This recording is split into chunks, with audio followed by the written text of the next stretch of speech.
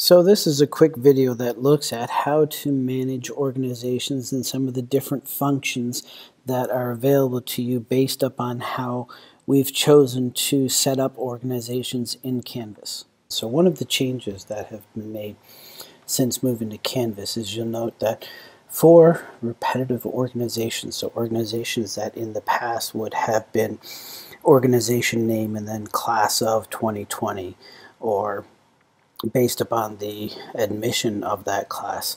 What we've done now is we have basically just created a general organization. So as you can see here, TUC, OBGYN, core rotation. And then in the settings, what you'll find is if you go into the sections, you'll see that there's a general section where all the instructors have been added and then each of those classes or admission cohorts have its own section. Um, so you can use the same organization year after year. And beyond that, the organizations operate the exact same way as courses. So as you can see from this one, we're using a pages model here. So you literally go as you click from one page to another page the same way you would if this was any other course. Another model that you can use in setting it up as you can see here, here's another organization that we've set up and you can see the different cohorts that are here. And when you click on each of those cohorts, it takes you to the modules for that particular cohort so you'll see it'll jump down now to the Fall 18 modules and that's how this is set up. So this is a modules formatted one. So regardless of how you set up the course in terms of pages or modules, what will happen is when you're getting the enrollment done from semester to semester, your Canvas admin will enroll them into a specific semester or a specific cohort based upon that particular group. Now, what this allows you to do is it allows you to create a couple of different things in your organization. The first is that if you are in the organization and you want to assign an assignment to a specific group of students, um, what you'd want to do is you would create an assignment. So I'm just going to call this one here temporary for now because that's what we're going to use it as and let's make it worth 10 points. And I'm going to save it for now and let's go in and take a look.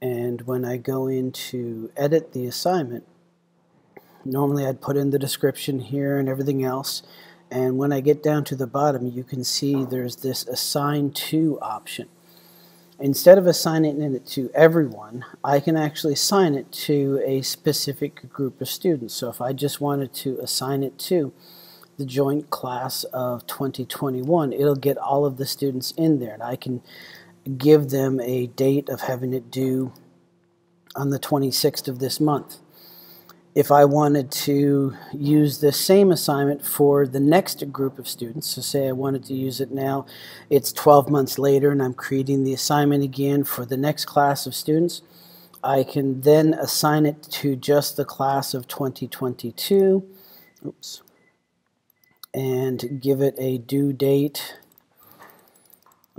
since we're 12 months into the future, this is my fictional 12 months into the future, and we'll make it due on the 28th this time. So you can use the same assignment again and again and just assign it to the section of students that you want it assigned to. The other option that you have is you do have the ability to create an individual assignment for each section, and you can actually group them that way. So if you look at this example, from an organizational standpoint. You can see this is the fall 2019 and here are all of the things that the fall 2019 students are expected to submit. And then once I get down to the bottom of that list, here are the ones that the summer 2019 students are expected to submit. And what you'll notice, it's the exact same assignment. So I've made an assignment for each of the cohorts in here. So if I've got five cohorts in here, I have the same assignment repeated five times. And then when I actually make the assignment or I assign the assignment available, I just make it available to everyone, but then only the students that are in that particular cohort or in that particular group would actually complete the assignment. So there's a couple of different ways to do it. Uh, the first way is a little bit cleaner. Uh, this way is uh, in terms of your grade book and stuff like that. This way is a little bit easier. So it's up to you in terms of how you manage that. So one of the areas that the way in which you set up assignments will make a difference is when you look at the gradebook. So if we look at this first one as an example, so here's my temporary assignment. You can see I've assigned it to the joint class of 2021 for one date, and then I've assigned it to the joint class of 2022 for a date 12 months in the future. Now, when I click on the gradebook, in most cases by default, you will see up here, it will say showing all sections. And what it does there is it gives me a listing of students regardless of which section they are put in in alphabetical order. Now, if I want to see just the students in the section of 2020 that I've assigned it to, I can just click on that and you'll see here are just the list of 2020. Now, if you remember, I didn't assign it to the class of 2020, this particular assignment, so you can see there's a gray box here that doesn't allow me to do anything. Whereas if I were to go to the class of 2021, to that section, you can see now I have the ability to grade each of these. Now, if you are doing it the other model, where you have all of the assignments for one class in a group, and then you have all of the assignments for the next class in another group, that's going to make a big difference in terms of how your grade book looks. So if I go into the grade book for that kind of course, what you will find is that while I can still look at the students by section, so as you can see here, right now I am just showing the section of summer 2019. I could look at, say, just the fall of 20 17. And as I do that, you can see, okay, here's some assignments that they were assigned, and then here's a whack of assignments that they weren't assigned. And then there's another one that they were assigned, and then here's a whole bunch that they weren't assigned, and then here's a whole bunch more they were assigned, and so on. And in some cases, not all of these, depending upon how they set it up, were specifically assigned to their group. So you get all of the assignments that are listed here. So if you have six classes or six sections and they were all assigned field study, it was just in six different groups. What ends up happening is throughout the course of this big, long, scrolling thing here, field study will show up six times. And if I've assigned it to everybody, what's going to end up happening is that it will show up for all of these groups. So some of these aren't even the ones that I'm looking for. So for example, um, as we're coming across here again now, let's see if we can't find field study again in a, another column. So here's our field study again. This is the third or fourth time we've seen it now. So it makes it a little bit more unwieldy in your gradebook when you do it in the model that you create an assignment for each group as opposed to creating a single assignment that only the class of that's only assigned to the section for the class of 2020 or the class of 2021.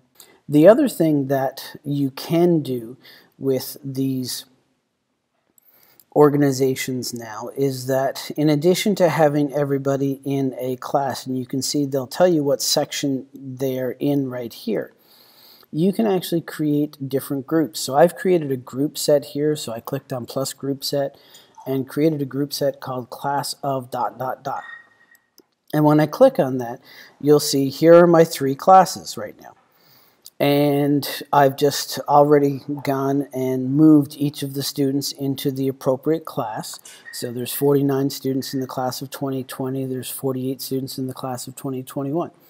When I click on the three dots over right here, the first option that it gives me is allows me to visit the group homepage.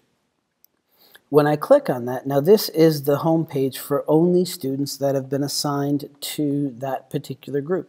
So if I were to click on people here, it would only show me the people in this organization that are in the class of 2021 group. So if there were specific files or pages that I wanted to create or announcements that I wanted to give that I didn't want the other sections in this case the class of 2020 and the class of 2022 to be able to see, I can post them here in this group homepage. And you can see by clicking on the switch group here, it'll allow me to go back and forth between the different groups that I have in this group set. Or I can just click on organization here and it takes me back to the main organization page. So there's a lot of functionality that you have here within the different options of the organization. And in terms of what it will allow you to do, in the case of Canvas, this actually is a course in Canvas. Now, it's a manually created course or a locally created course, which means essentially that the local Canvas admin was the one that created this course, and they are the one that populates the students and faculty and staff into this particular course. Otherwise, it operates the exact same way that every other course in Canvas, regardless if it's an automated course or manual course. Um, the functionality is the exact same. So all of these functions you could also do in any of the courses that you teach that get added into Banner. We've just set the organizations up specifically this way to leverage these things to make the management of the organizations a little bit easier on the administrative side while providing you with the same functionality that you've expected from when you used to use organizations in the previous LMS. So that was a quick video that looked at how we've set up organizations in Canvas on the back end and the different functionality that you have as a instructional user in these different Canvas organizations.